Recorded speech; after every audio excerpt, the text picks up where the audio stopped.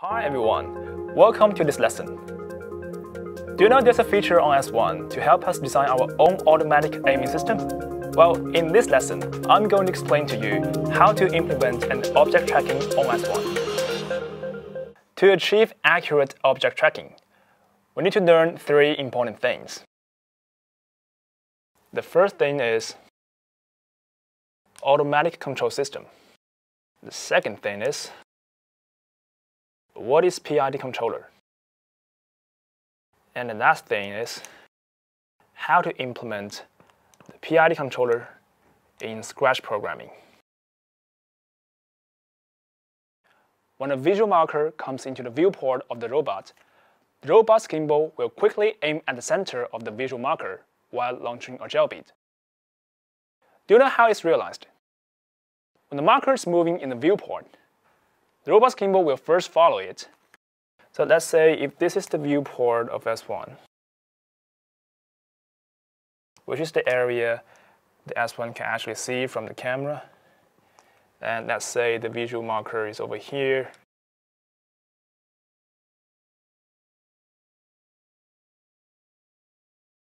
And here's the center of the viewport.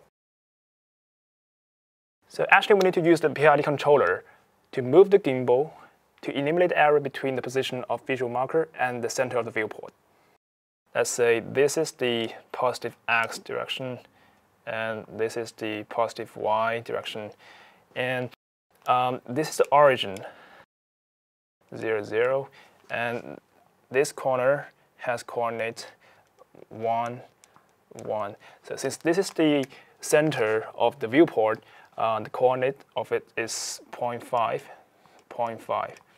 And since we don't know the position of this visual marker, let's say the coordinate of this visual marker is x, y.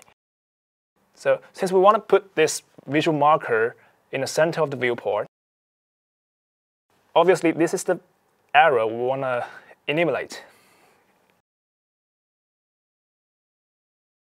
And we can decompose it into x direction and y direction.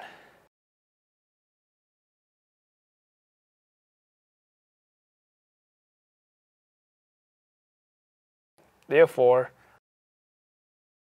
the error in x direction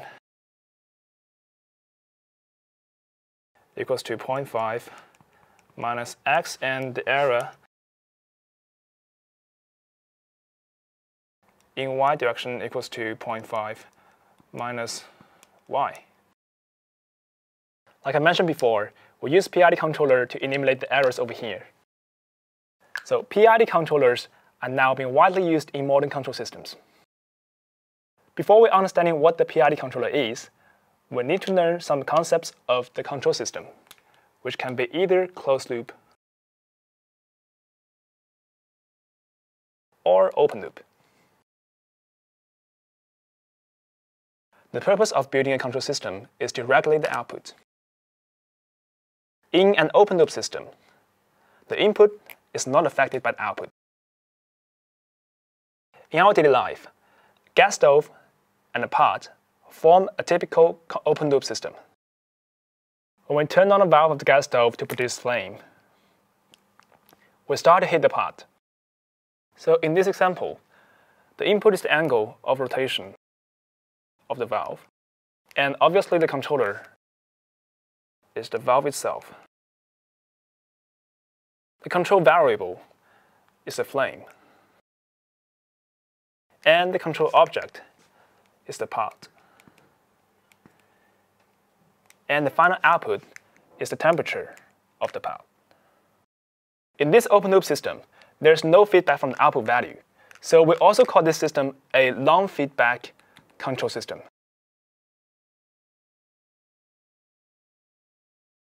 The advantage of this open loop control system is it has simple structure and very low cost. Let's take a look at the closed loop control system. Here's a diagram for the typical closed loop control system. Different from open loop control system, there's a sensor over here, and it provides a signal path and forms a feedback loop. So it's also called a feedback control system.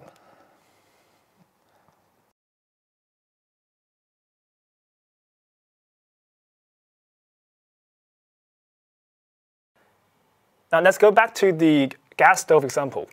If we introduce a temperature sensor into this system, and it can detect the temperature of the pot and provide it as a feedback to the system. It allows the stove itself to adjust the angle of valve to ensure the temperature of the pot doesn't go too high or too low. Since the closed-loop control system has a feedback loop, it is structurally expensive and complex. As long as the output value deviates from the desired value, a corresponding control variable will be generated to eliminate the error. Now we understand what the control system is. And next, we should learn something about the PID controller normally used in the control system. Let's go back to the um, object tracking example at the very beginning. The PID controller used in this system is responsible for eliminating the error distance, which is over here, and output the rotational speed of the motors of S1. There are two PID controllers governing the motion of gimbal, one for pitch motor, another one for yaw motor. Actually, PID controllers are not only used in robot control systems, but also found in many other applications such as smart refrigerators or hoverboards. So for the example of object tracking, uh, we need to know how the PID controller eliminates the error on x-axis. So first of all, we need to draw a graph of speed versus the time. So this speed is actually the rotational speed of the motor on yaw axis.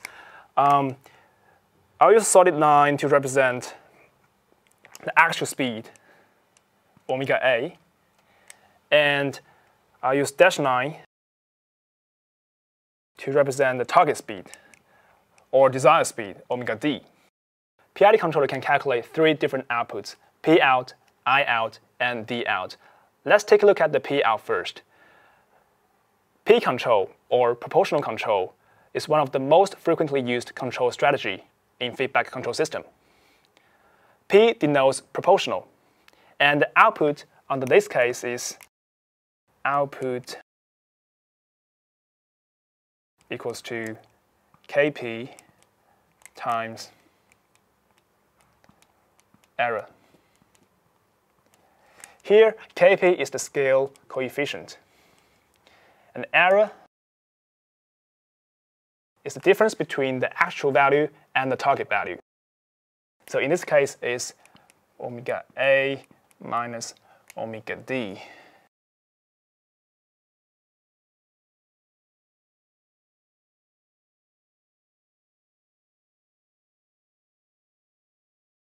So um, we call it proportional control because the final output is proportional to the error if the Kp is fixed. And the greater the error is, the greater the output will be. In this project, when the center of viewport is approaching to the desired position, which is the center of the visual marker, the error distance is actually decreasing. And at the same time, the rotational speed of motor is dropping as well. During this process, the function of P control is to amplify the error and convert it into the output of rotational speed. Great, it's time to do some programming. The following program allows Gimbal to track the visual marker. Let's first take a look at how the program works, and then I will explain the program in detail. If we increase the KP parameter, the gimbal will rotate faster, so that the center of the field of view of the camera will track the visual marker. Now let's do a very quick recap of today's lesson. Uh, first of all, we learn what the control system is, and we know there are two types of control systems, and they are closed-loop control system and open-loop control system. Sometimes they are called feedback control system and non-feedback control system. Then we know uh, what the PID controller is um, based on this project. We know how P control or proportional control in this project, and uh, in the end, we implement the PID controller in the Scratch programming. This is all for today's lesson. In the next video, I'm going to show you how to implement I control and D control. Right, see you next time.